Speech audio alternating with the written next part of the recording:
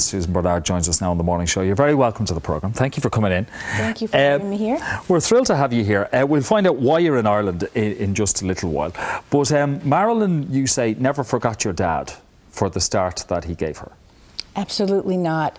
Um, when he shot her on the set of the Seven Year Itch in New York, uh, she saw him in the crowd and she ran up to him and she stopped everything in front of the entire crew and she said, and she hugged him and she said, Remember, Bernie, everything started with you.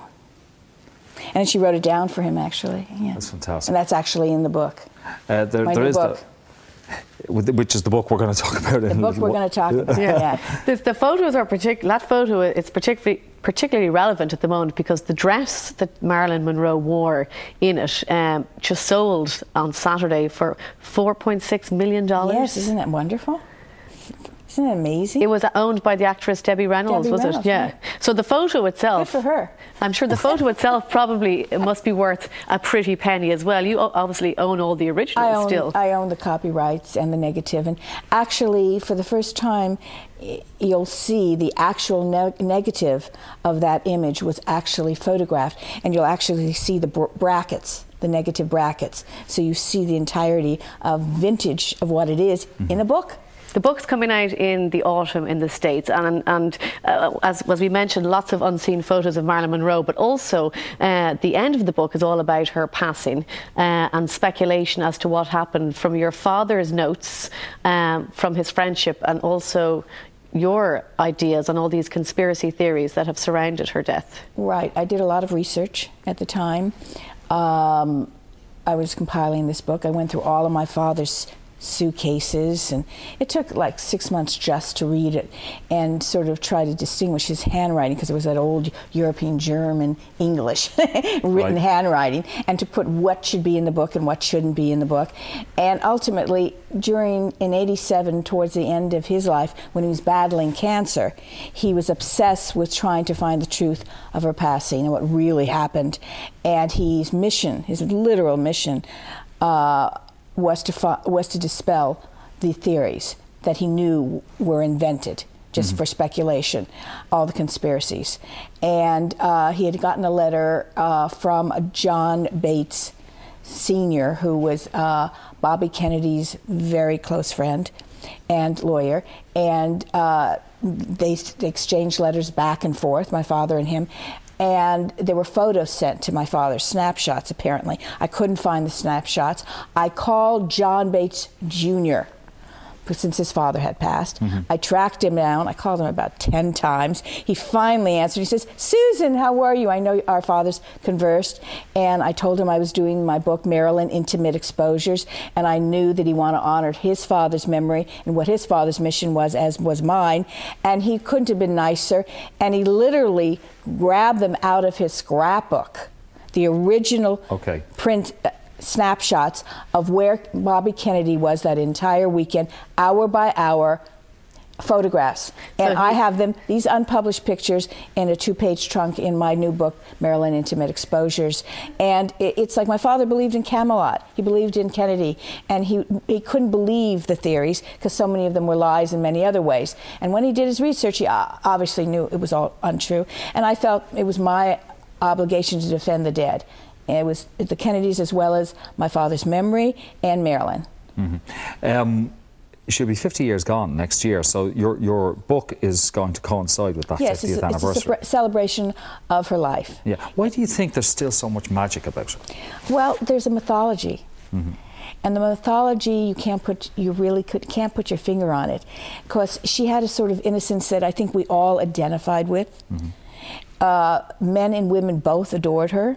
Mm -hmm and um, she revealed it and she was open with it. And I think that each decade she becomes bigger and bigger and more loved. And there are more books written about Marilyn than any head of state. Yeah, I know. I, but, Isn't that fantastic? Mm, it, it is fantastic. But the impression that that an awful lot of us are given is that Hollywood almost took advantage of her. Not true. You don't think so? I don't believe it. I think that's the most obvious way. Oh, Hollywood, what they do to the stars, to young women. Not true. I think in many ways, considering where she came from and her tragic upbringing in the foster homes and the abuse and the neglect and the dreams that she wanted to become a movie star, um, Hollywood almost saved her. She was able for even if it was a short period of time, mm-hmm. to delve into a life that she might never have had had it not been for Hollywood. I mean, she married two of the most extraordinary men.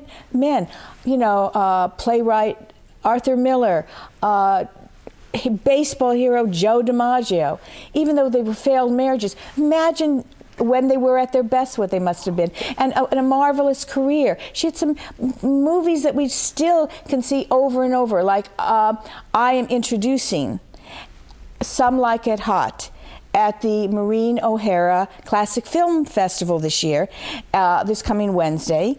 And, um, and I'm, I'm really excited about it because Some Like It Hot is one of the best American classic comedies, and Billy Wilder's best film, so he says to everybody. You know, yeah. admit it. There was a fantastic cast: George Raft, right. Tony Curtis, yeah. Jack just, Lemmon. Oh yeah, it, and it holds up every time you, yeah, you see it. Of course. Well, she led a very an amazing, colourful life, but you yourself have led, led an amazing life, starting with uh, being a Playboy. Was it centerfold at the age yes. of seventeen? Yes, yes. Um, how, how, did you?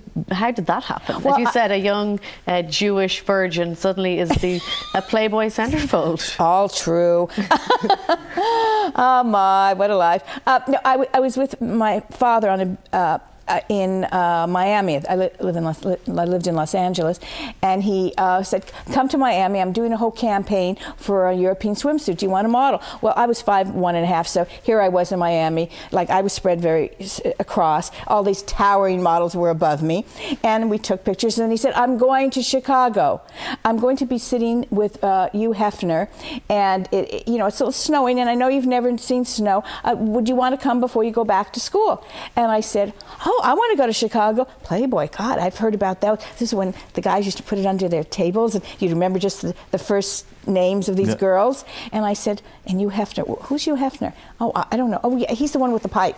I mean, that's where my reality was. Yeah. And um, and we were sitting within three days in Chicago at the innocent age of 17, and Hugh Hefner was sitting at the dining room table with us at the mansion, and he said, Bruno, have you ever thought of your daughter being in Playboy, a centerfold? We would be honored. And uh, my dad sort of looked at me and he says, Well, uh, Susan, this is your decision. I will not get involved in this. This is your decision. You talk it over at home with your mother. And uh, I was sort of, you know, at the time, I was, I didn't know what to say. You know, mm-hmm. I mean, it was just I mean, their their centerfolds weren't as racy back then. Oh, yeah, I they, I mean, they showed there, very little. Yeah, they what did they what did they show? You were Miss December, yes, 1966. Miss December. We, we we had it in our understanding that I would approve mm-hmm. uh, the the final photograph, which was rare, which they never did, and that's because of the relationship my father had with uh, Hugh Hefner. Mm-hmm. And my, and um, I went to a bookstore, an old bookstore on Hollywood Boulevard, and I went and I did all this research, and I was like sitting on the ground there, and people would see me looking through all these Playboy magazines, and I said, I can do this. I can be one of those. I could do that. Why not? And it was it was a time of liberation for women. Mm-hmm. It was a time of the Vietnam War. Uh, it was sort of my way of saying this is okay. I can be smart and I could be pretty and I could do this and I know I've grown up with artistic uh, you know, uh, photographs all my life of women looking beautiful and as a pinup. And I said, you know, I'm going to do it. Yeah. I'm going to do it. I'm, you know, and then I became the talk of my whole high school, you know, my high school senior. Yeah. But then after that, you, you got into acting and you were in a cult movie. Um, yeah. Tell us about the, the fat, what is it, Faster? Faster Pussycat Kill Kill. It's, uh, can you imagine? I even went to the film festival, and uh, some of the people who had donated their time, young students from in Ireland at the various universities, have studied that film. And I, I, am just sort of always amazed that it's become such a classic.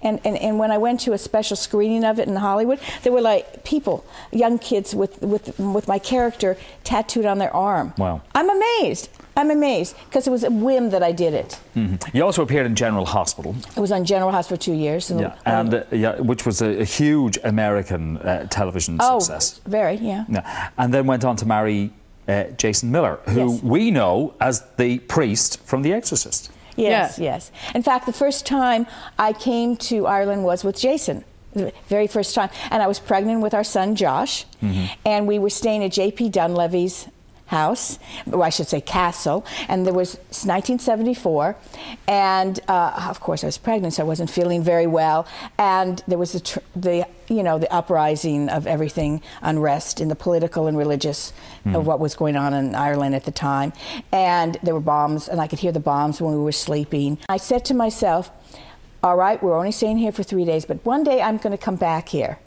And it's going to be a different time and place. And now here I am, 35 years, literally 35 You years took your later. time. Yeah. I took my time, but here I am at the festival, Yeah. and I'm talking about my new book.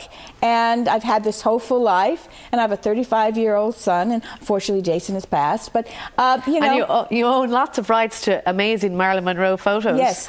And Um, many others too, because your father uh, photographed the great and the good. Yes, he did. He did Maureen O'Hara, some beautiful. Well, how can she not be beautiful? Every Mm-hmm. photo of her is just extraordinary, and she's beloved. You know, um, and Clark Gable, Ginger Rogers. There wasn't anybody. He had his own studio on Hollywood on Sunset Boulevard, and it was he he, he was actually he escaped Nazi Germany, Mm-hmm. came here uh, penniless to America. Not here, but Yeah. maybe he did. I don't know. I don't know about him ever coming to Ireland. Well, he might have stopped on the way. You Well, never Maybe know. have stopped on the way, unlikely. And um, and he ended up uh, trademarking the name Bernard of Hollywood. So above the studio it said Bernard of Hollywood. Whoever thought of doing that, a signature? And it always now appears in the corner of all of his pictures, and it's an optical illusion of glamour, it signifies. And then he opened up a studio at the Riviera Hotel in Las Vegas and in Palm Springs. So he ran his own studio. He didn't work for the studios. Yeah. So therefore, knock on wood, Daddy, I own the copyright, not the studio. Which well, is- we'd all love to is be in your position, Susan. It's, Listen, you know, and so I've created this whole world around. Yeah, And I'm here we are, very 24, blessed. 24 years after his passing, and those pictures still mean Just like the movies, just Yeah. like Yeah. movies. Yeah. Stills and movies retain, and I license and I retain and I preserve it, just like the Classic Film Festival. Preserve the past, because if you don't preserve the past, how can you go on in the future? Okay. Well, you're going to be here in Ireland until the 26th of June, Danica Yes. Gareth, for this Maureen O'Hara uh, Classic Film Festival. And we thank you for coming in to join us Thank you today. so Thanks much so for much. having me. It's been a pleasure.